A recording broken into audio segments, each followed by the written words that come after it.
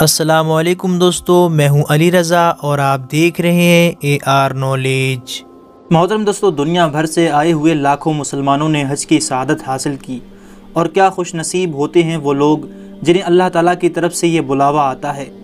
और वो यहाँ अल्लाह के घर मेहमान बनकर हज के फरीज़े को सर अंजाम देते हैं।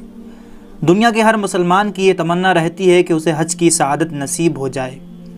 मगर खुश नसीब होते हैं ऐसे लोग जिनकी ये ख्वाहिश पूरी होती है और वो अपनी खुली आँखों से इस मुक़दस मकाम का नज़ारा करते हैं, जिसे देखने और जहाँ जाने की तमन्ना उन्हें सालों से थी।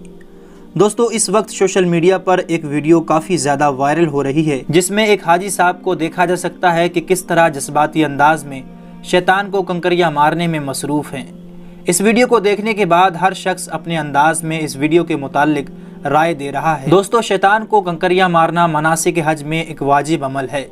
जिसका वक्त ईद की नमाज़ के बाद तुलु आफ्ताब से शुरू होता है।